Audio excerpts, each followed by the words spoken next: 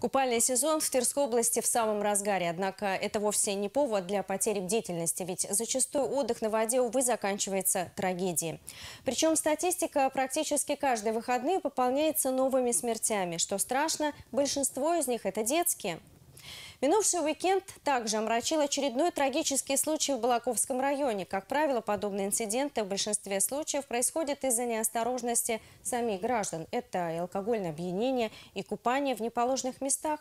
Ежедневно на страже безопасности купающихся сотрудники ГИМС. В очередной рейд со спасателями отправилась и наша съемочная группа. Граждане отдыхающие, берегите себя, уже в этом году за купальный сезон утонуло 8 человек. Из них пятеро детей.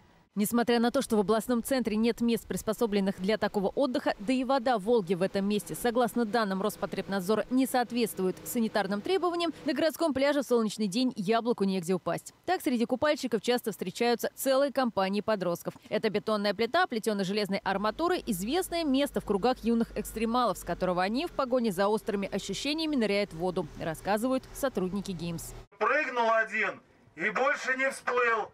Собрали вещи и быстро на берег.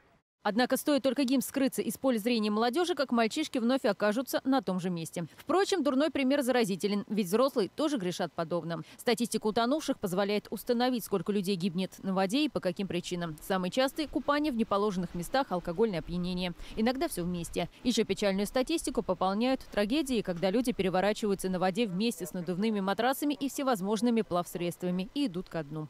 Здесь нет пляжа молодой человек, не показывайте пример сыну своему, а гребите к берегу. Сами гребите. Сотрудники ГИМС постоянно ведут разъяснительные беседы в ходе рейдов, читают лекции родителям и детям в учебных заведениях и в ходе профилактических мероприятий. Работаем также с судоводителями, объясняем, что необходимо использовать в обязательном порядке спасательные жилеты. Тем более, чтобы дети всегда находились на плавсредства в спасательных жилетах. Ни в коем случае не сажать их на нос лодки, на борт лодки, тем более в движении. Так как, э, как говорят бывалые судоводители, что за борт упало, то пропало. Многие родители попросту недооценивают всю опасность, а потому гибнут и калечатся как сами, так и их дети. Ныряние, пожалуй, самое опасное действие. Великие риски получить тяжелые травмы позвоночника. Травмы, связанные с нырянием, это, как правило, тяжелые черепно-мозговые травмы и травмы шейного отдела позвоночника, которые заканчиваются глубокой инвалидизацией. А, и, собственно, утопление.